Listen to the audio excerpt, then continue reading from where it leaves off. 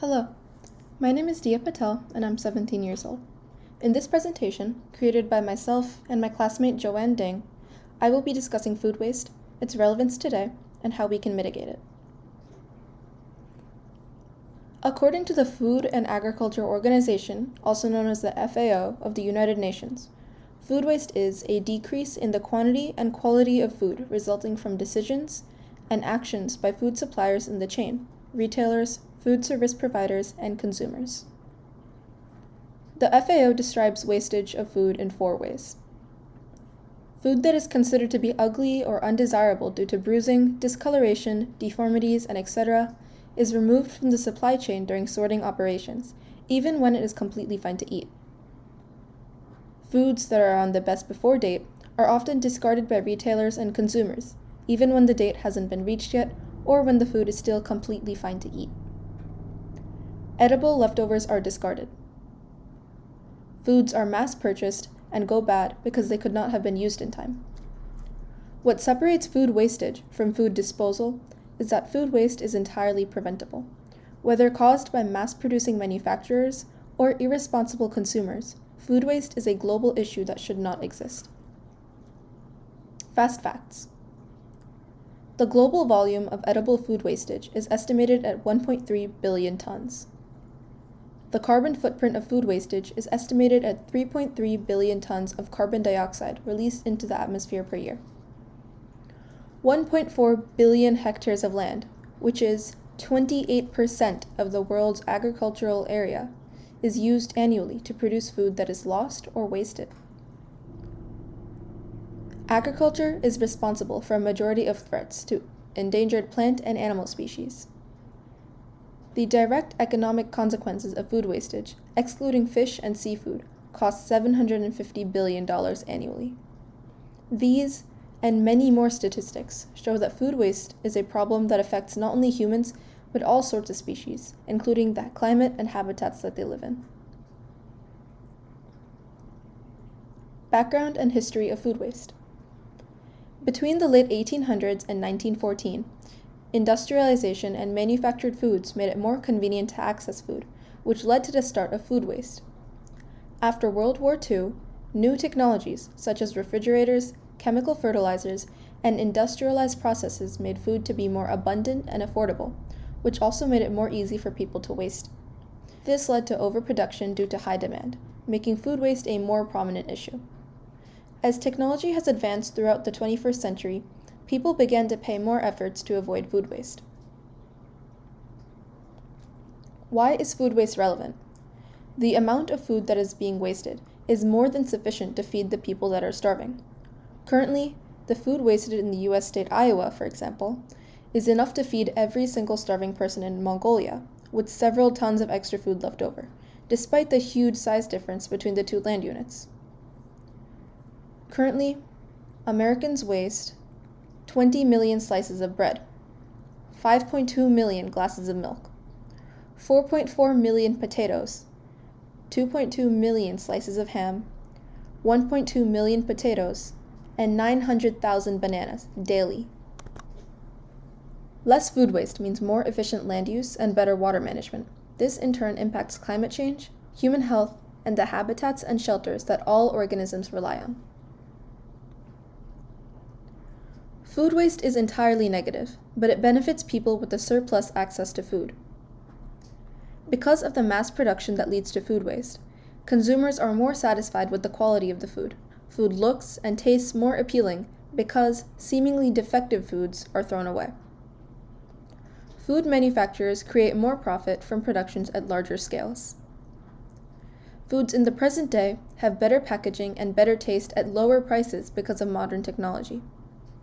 Due to these factors, people that have the privilege to impact global food production are less likely to work towards mitigating food waste, because they are the ones that benefit from it. There are, of course, far more downsides than upsides to food waste. More food waste can lead to a higher governmental cost when disposing the waste, which can lead to increased taxes, while this is also wasting natural resources.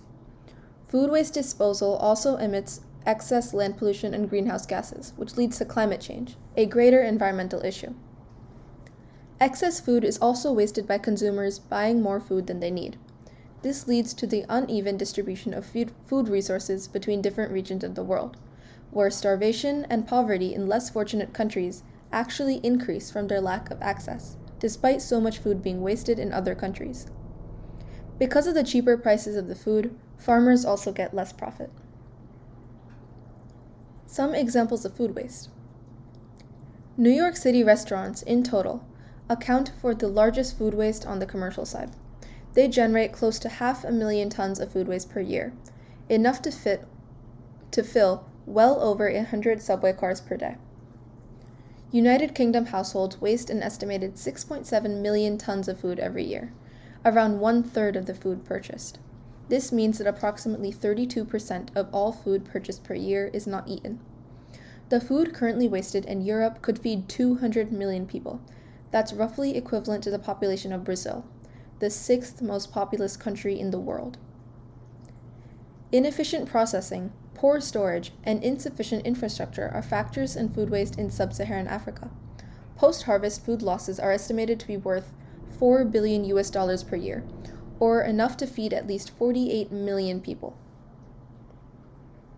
This map illustrates places that are the most food insecure, mainly Africa and South and Southeast Asia. If we go to the next slide, we can see that the areas that are most food insecure are inversely connected to the largest food wasters.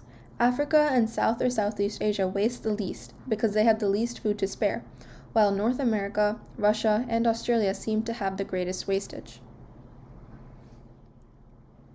Here are some current events also related to the topic. On July 16, 2021, the Zero Food Waste Act was passed. This act provide, provided grants to reduce food waste, and the goal was to reduce food waste by 50% by 2030. On September 2021, the School Food Recovery Act was passed, and this provided nationwide grants for food waste management in schools. In early 2022, California passed Senate Bill 1383. California is the first state in the United States to officially introduce mandatory food waste recycling and salvaging of edible food waste. Here is one mitigation strategy that anybody can do to wasteless food composting. Basically, with composting, you can use any type of plant waste to improve the structure and health of your soil. More than a quarter of all waste in landfills, 28%, could have been composted. If every single person in America composts, this has the same effect as removing 7.8 million cars from roads. How to compost. First, designate a bin or a hole in the ground for composting. 2. Add soil and plant waste to your compost bin. 3.